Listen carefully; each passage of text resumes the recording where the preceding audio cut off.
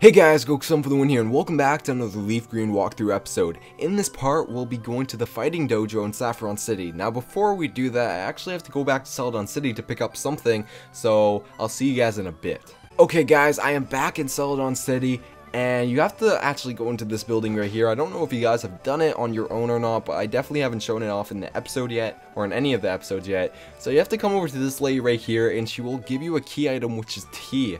Now this tea will allow you to go to Saffron City, since there is a guard right now that is blocking it because he is thirsty. Same with any other route you try to go into from Celadon City. You won't be able to do it because the routes are all blocked. So anyways, let's go ahead and give this man the tea over here. Again, he will hand it over to every other guard, so don't worry about going to each guard handing them over tea. Um, that would be very repetitive and annoying. But we have entered Saffron City. Now, Saffron City is the biggest city in this game, so uh, it is pretty nice. I love how they have big cities, and I think they do in every game, but Saffron City is one of those I don't know, I just like the way the city looks. But anyways, as you can see already, there is Team Rocket everywhere in here, so we can't do majority of things, but we are here for one thing today, and that is the Fighting Dojo. So the Fighting Dojo is a place where you fight a barrage of trainers that come at you with a bunch of fighting types and you get a little reward at the ending and that reward I really want because it's going to be our final Pokemon that they give us. So anyways, let's go ahead and fight these trainers right here. I don't know exactly, yeah, I think they take turns. So the first trainer you come up against in this fighting dojo is going to be a Machop and a Machoke. Now the Machop's going to be level 31 and I'm pretty sure the Machoke's level 31 too, but I have no idea. Maybe this is a different trainer actually. I think this might be the one with the Mankey and Primeape. I'll see right here once I actually get the Pokemon back up on the screen. Uh, Robin is going to get a little bit of EXP here. Okay, so this is the trainer with the Mankey and Primeape. So they're all going to be level 31. Uh, Mankey, not really the best Pokemon in the world. Once he evolves into Primeape, this Pokemon becomes a beast as a fighting type. It's a pretty good Pokemon. If you want to run it on, on your team, I'd recommend doing it but there are better fighting types that you can get in this game, and you have to get as a reward from this fighting dojo. So Primeape's going to come out. Now, if you do have troubles in this first uh, fighting dojo here, um, usually if you go straight into it after you get the tea from Celadon, before you even fight the gym leader in Celadon, uh, you'll usually have some troubles with this. But if you have a flying type, um, it shouldn't trouble you too much. So I recommend even bringing your Fearow if you have one, or if you got a Pidgeotto or a Pidgeot, that would definitely be a great choice as well. So Robin's going to go ahead and get some more XP here, and he gives up. Yeah, I know, you lost all your Pokemon. You didn't tell me that. So coming into the second battle right here, I'm pretty sure, I'm pretty sure this is going to be the guy with the Machoke. I have no idea though, we'll see. Okay, yeah, this is probably the guy with Machoke and Machop. They're go both going to be level 32, so um, not too too hard in, at all. Um, Machop, pretty easy Pokemon to take out with Peck. Oh my god, he actually tanked that one. I'm surprised about that. It is super effective. And on top of that, I think we're, uh, we're four, four levels. I think we're, no, five levels. Five levels higher than this Pokemon right here. Um, but Machoke right here, obviously he's going to be able to live a Peck because that Machop did. And Machoke and Machamp, definitely, definitely great Pokemon to run on your team. Um, these are one of the better fighting types you can get other than Primeape. I prefer getting either myself, either a Machoke, a Machop, or a Hitmonlee or Hitmonchan. These are, those are usually my go-to fighting types. If I want to mix it up, I'll bring in Primeape, but he is definitely outclassed by these fighting types that you can get in these games. So anyways, we're going to take out that next trainer right here, and I don't know what this trainer has. It's either going to be I'll see once I see the Pokemon. But anyways, um, this is pretty much it. You fight four trainers in general, and then uh, you get the final boss battle with the guy and at the top, and he will give you the reward.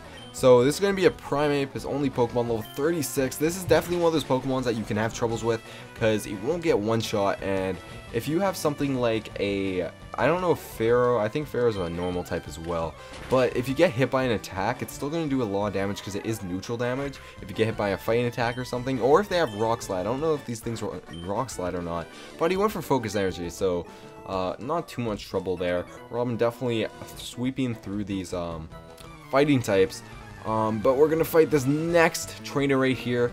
He's going to have a Mankey, another Mankey, and a Primeape. I don't know what these trainers are with their uh, Mankeys and Primeapes. I guess you don't really have much choices in Gen 1. Um, I don't know if there's any Gen 3 Pokemon in this game. I think they there is later later on, but that's not until after uh, when you're about to beat the or fight the Elite Four.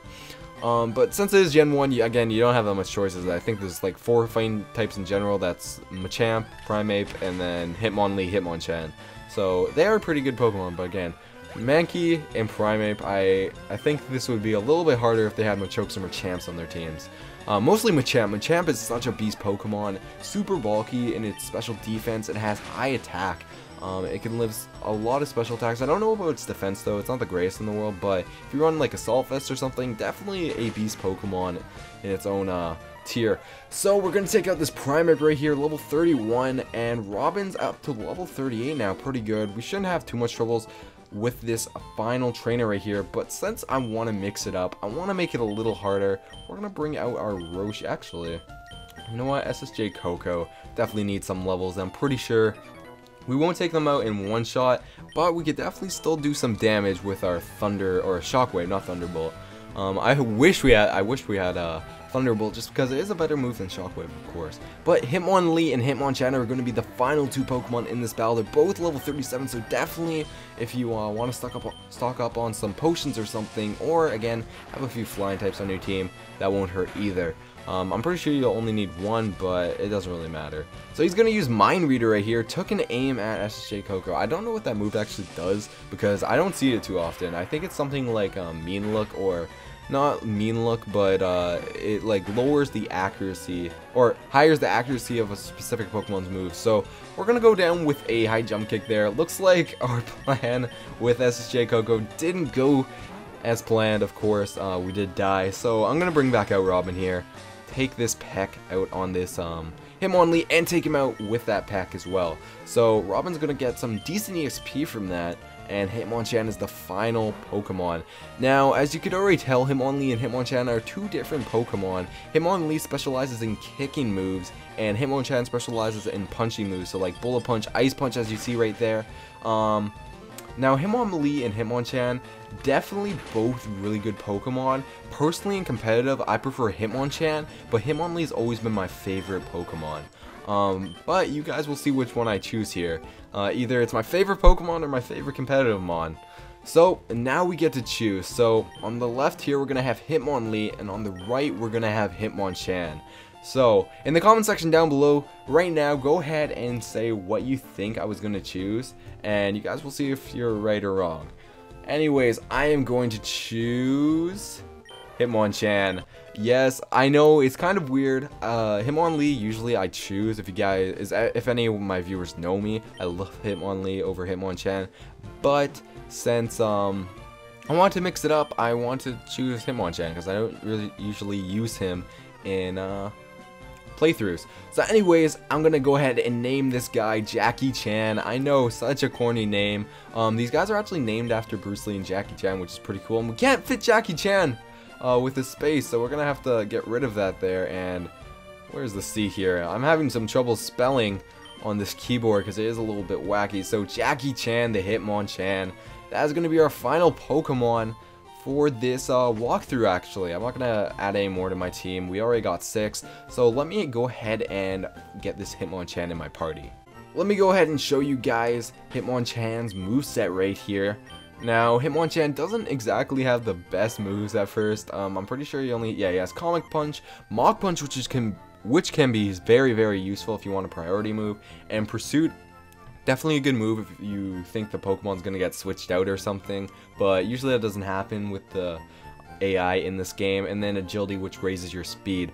I'm pretty sure Hitmonlee only gets uh, rolling kick, and one other move. He doesn't get four moves. I could be mistaken though, but Hitmonchan, definitely a good choice. As you can see, his special defense super high, has decent attack, and his speed is pretty good as well. Special attack definitely is not the greatest in the world, and the defense is kind of suffering, but we are not going to be switching into physical flying types or anything with him Hitmonchan.